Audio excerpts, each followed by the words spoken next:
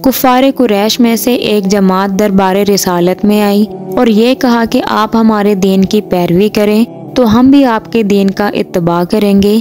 ایک سال آپ ہمارے معبودوں کی عبادت کریں۔ ایک سال ہم آپ کے معبود اللہ تعالیٰ کی عبادت کریں گے۔ حضور صلی اللہ علیہ وآلہ وسلم نے فرمایا کہ اللہ کی پناہ کے میں غیر اللہ کو اس کا شریک ٹھہراؤں۔ یہ سن کر کفار قریش نے کہا کہ اگر آپ بتوں کی عبادت نہیں کر سکتے، تو کم سے کم آپ ہمارے کسی بت کو ہاتھ ہی لگا دیجیے، تو ہم آپ کی تصدیق کر لیں گے اور آپ کے معبود کی عبادت کرنے لگیں گے۔ اس موقع پر سورہ کلیا ایوہ الکافرون نازل ہوئی اور آپ صلی اللہ علیہ وآلہ وسلم حرم کعبہ میں تشریف لے گئے۔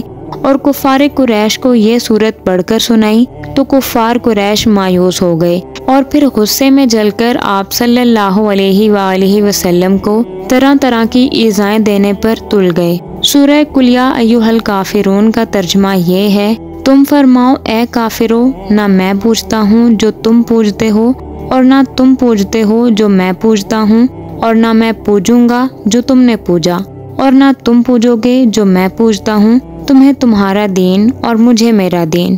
اس سورہ پاک کے مضمون اور آپ صلی اللہ علیہ وآلہ وسلم کے طرز عمل سے ہمیں یہ سبق ملتا ہے کہ کفر و اسلام میں کبھی مفاہمت اور موافقت نہیں ہو سکتی جو مسلمان کفار کی خوشنودی اور ان کی خوشامد کے لیے ان کی مذہبی تقریبات میں حصہ لیتے ہیں۔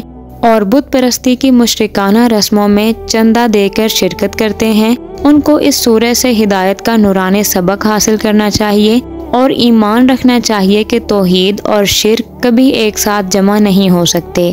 جو موحد ہوگا، وہ کبھی مشرک نہیں ہو سکتا اور جو مشرک ہوگا، وہ کبھی موحد نہیں ہوگا۔